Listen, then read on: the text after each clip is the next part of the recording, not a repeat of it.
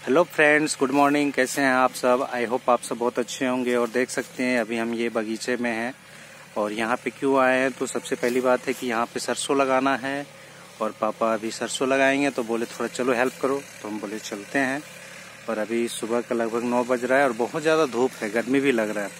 तो इसके वजह से हमें छाँव में आना पड़ा। गर्मी बहुत ज़्यादा है। पता नहीं इतना, सुबह ठंड भी लगता है और शाम को अभी दोपहर में गर्मी भी लग रहा है।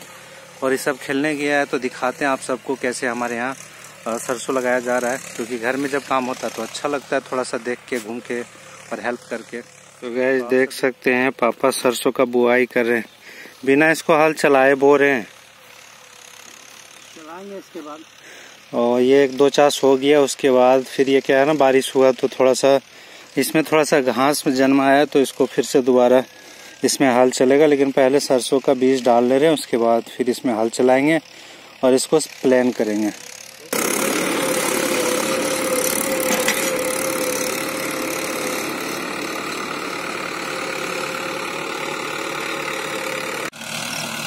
तो देख सकते हैं, इसको समतल किया जा रहा है और इसमें बीज डाल दिया गया है।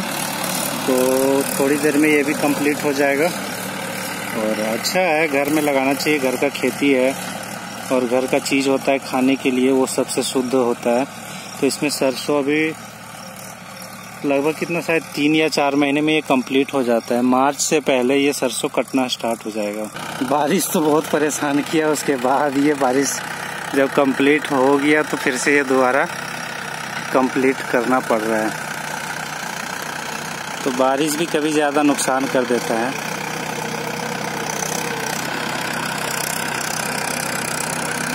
और अब चलेंगे घर। भूख लग गया है, लगभग एक बज गया है तो लंच भी करना ज़रूरी है। तो देख सकते हैं, पसीना पसीना हो गया धूप में, और सारा सामान लेके अब घर जा रहे हैं। सरसों लग गया है।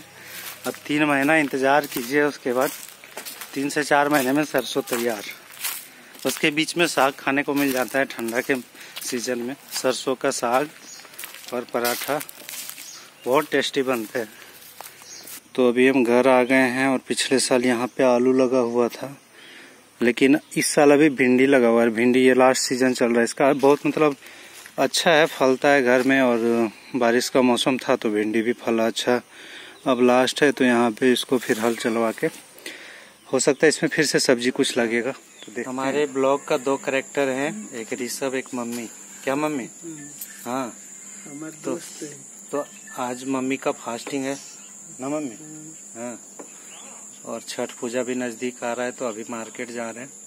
शाम का लगभग साढ़े चार बज गया है। लेट हो रहा है तो जल्दी से मार्केट निकलते हैं और आते हैं कुछ कुछ शॉपिंग करके। क्या ऋषभ हाँ। तुमको क्या ला देंगे जो लाइएगा जो लाइएगा तो जो मिलेगा देखते हैं। पूछेंगे दुकानदार को जो है आपके पास? तो बोलेगा हाँ क्या होता है जो? हम बोले पता नहीं बच्चा बोला जो लाने तो हम बोले है तो दे दीजिए। ना? नहीं। नहीं।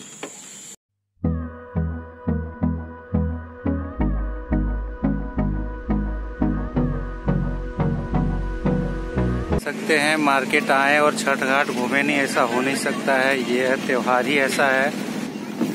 तो देख सकते हैं, ये बुलेट ट्रेन है।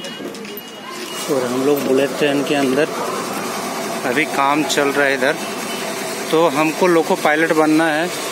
उसके लिए वैकेंसी अभी आया नहीं आएगा तो हम उसको फॉर्म फिल करेंगे और सबसे पहले हम ही इसको चलाएँगे। यहाँ लोको पायलट सीट यहाँ है और यहाँ पे हम बैठेंगे। आप सब इंतज़ार कीजिएगा।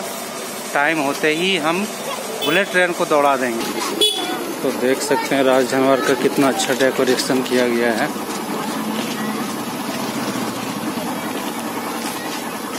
बहुत ही अच्छा डेकोरेशन किया गया इस बार।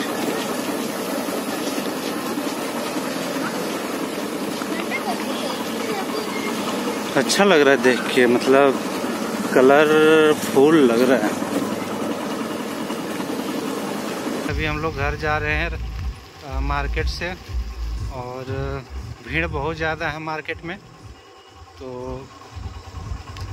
टाइम थोड़ा ज़्यादा लग गया, और लगभग शाम का साढ़े छः बज गया पूरा अंधेरा हो गया, देख सकते हैं।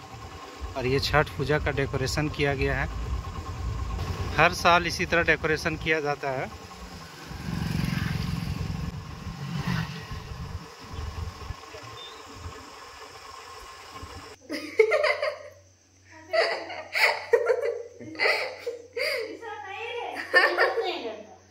तो गाइस देख सकते हैं मार्केट से आ गए हैं और इस सबको समोसा नहीं मिला क्योंकि मार्केट में आज मार्केट से आए तो इधर हमारे एरिया में जहाँ जहाँ समोसा मिलता है तीन जगह समोसा नहीं मिला। तो हम क्या कर सकते हैं? क्या कर सकते हैं ऋषभ